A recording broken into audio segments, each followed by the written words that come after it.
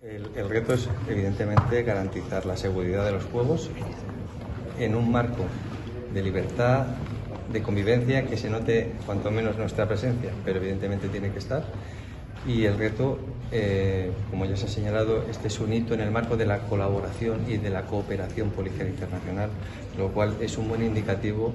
de la tarea policial y de esa ayuda y ese auxilio que nos prestamos entre países en eventos de estas, de estas dimensiones. Por lo tanto, eh, a la Policía Nacional los retos eh, los afronta siempre con, con ánimo y con ganas porque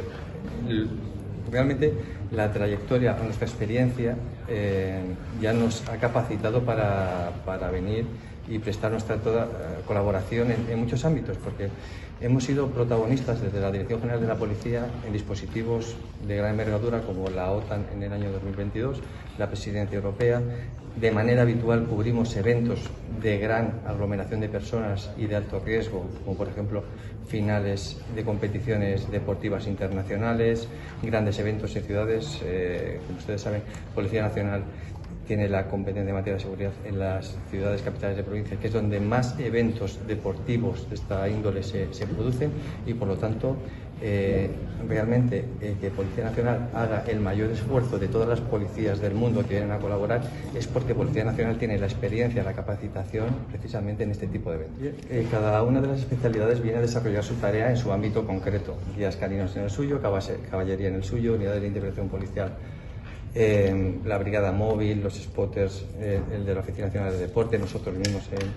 en, el ámbito de, materia antidrón. Que cada uno viene a desempeñar sus funciones concretas eh, bajo las directrices y los parámetros de la coordinación que establece eh, el Ministerio del Interior francés. Evidentemente, como he dicho en la presentación, venimos a ver nuestro trabajo, que sería el mismo que haríamos en España, evidentemente amoldado a las circunstancias eh, de un gran evento como son los Juegos Olímpicos, que sabemos todo lo que implica, muchísimas personas, muchísimos países, y entonces, evidentemente, tenemos que estar, vamos a decir, eh, mucho más activados en materia de disposición, ¿no? Pero realmente es eh, cada uno de los funcionarios que viene aquí viene a realizar su tarea específica en el ámbito que le toca. Aquí eh, son patrullas mixtas, es decir, nunca va a haber un funcionario español solo, siempre va a estar acompañado o bien de un gendarme o bien de un policía nacional. Como ya se ha indicado, el dispositivo de seguridad lo organiza, lo coordina el Ministerio del Interior francés, nosotros venimos a colaborar, por lo tanto, evidentemente, si un policía nacional español ve un acto delictivo o tiene que actuar, ya sea en materia humanitaria, evidentemente lo va a hacer siempre en colaboración de, la, de los compañeros gendarmes o de la Policía Nacional. Y en el caso de que suceda fuera de servicio, pues como haría cualquier policía nacional, primero auxiliará o resolverá la situación de peligro y acto seguido eh, informará a las autoridades para que se continúen las, las diligencias. Todos los agentes pertenecen en una, de una especialidad concreta, es decir, cada agente de Policía Nacional que viene a, a Francia o a París concretamente viene de una especialidad a la cual para acceder ya tiene que hacer un curso de preparación. Es decir, ya viene con una especialización. Y además, evidentemente, todos están más que capacitados a través de reválidas o otro tipo de actividades obligatorias propias del cuerpo para formarse. Y evidentemente, y vuelvo a incidir en la experiencia en la colaboración policial internacional, muchos de los compañeros que tenemos aquí ya han participado en eventos eh, ya sea en dispositivos de seguridad o incluso en tareas humanitarias en, en grandes catástrofes. Por ejemplo, eh, la unidad de guías caninos ha participado en diferentes eh, tareas humanitarias fuera del país. Quiero decir, para Policía Nacional no es nuevo la colaboración internacional porque estamos muy acostumbrados a trabajar con policías de todos los países, tanto en España como fuera de España. En primer lugar, eh, la mayor especialización, la mayor experiencia en este tipo de eventos y luego otros patrones, otras, eh, otros parámetros como el conocimiento del idioma, del idioma, el dominio de la actividad que van a realizar. Eso, evidentemente, nos ha permitido seleccionar a aquellos agentes que están o que son más idóneos para realizar esta función. Pues eh, participan en quiero recordar, no quiero darle datos equivocados,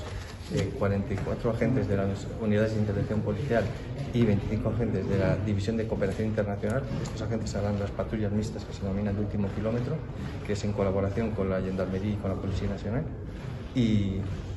siempre en conjunto con ellos. Luego otros policías de otros países entiendo que participarán del mismo modo que nosotros, pero con con la policía francesa. Evidentemente eh, se ha seleccionado un tipo de perfil francófono, pero también en inglés o incluso muchos compañeros de la Gendarmería y de la Policía Nacional hablan perfecto español, con lo cual se facilita mucho la comunicación. Todos eh, nuestros perros son detectores de explosivos. Llevamos aquí desplegados desde el 15 de julio y vamos a permanecer durante todas las Olimpiadas hasta el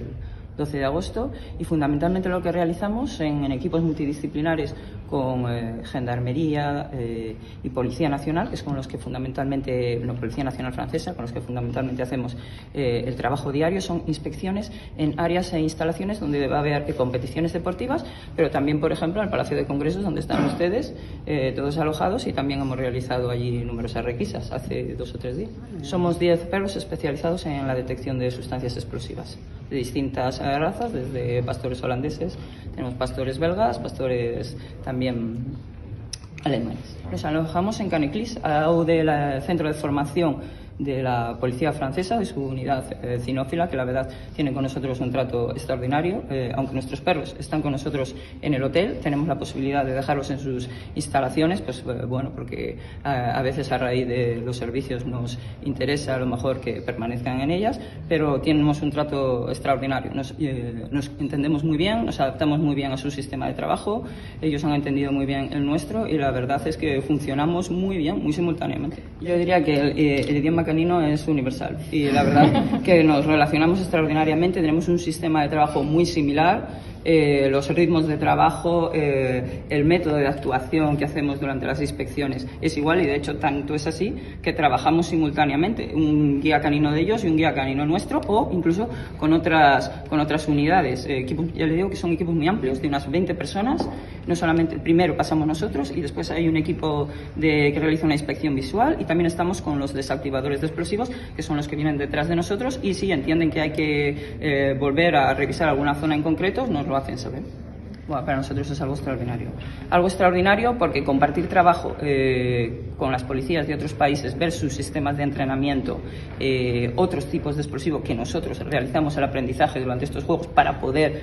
eh, rendir eficazmente con nuestros perros y además en un evento de estas características donde vamos a multiplicar nuestro trabajo por muchísimo, realmente para nosotros es algo, es algo emocionante.